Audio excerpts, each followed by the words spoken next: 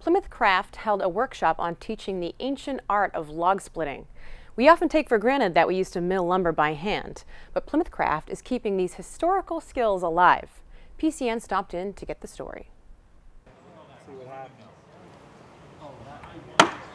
This is one of Plymouth Craft's standard workshops where we teach the ancient craft of splitting a log apart instead of sawing apart into boards. So we're using wedges, hatchets, and an old tool called a froe to learn how to read the grain in this log and split it open to get usable stock out of it.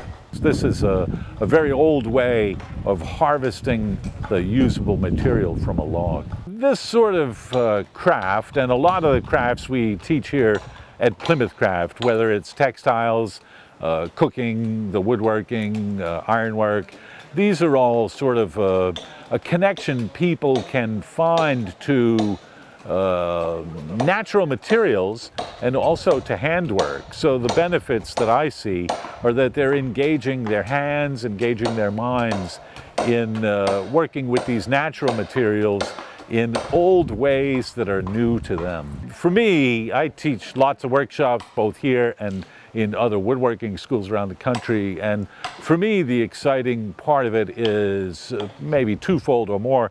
One is the connections I make with other people, with all these students from all walks of life, quite far flung. We had a participant here from Australia this spring.